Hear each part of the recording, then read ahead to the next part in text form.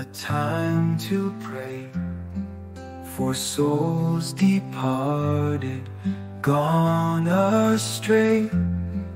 We gather round with hearts sincere to offer up a heartfelt prayer.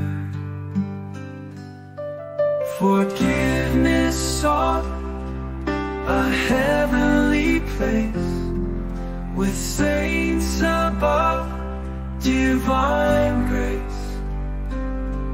No pain, no sorrow, eternal rest. With loved ones gone, forever blessed. Death's final wonder, a mystery deep, a love so strong.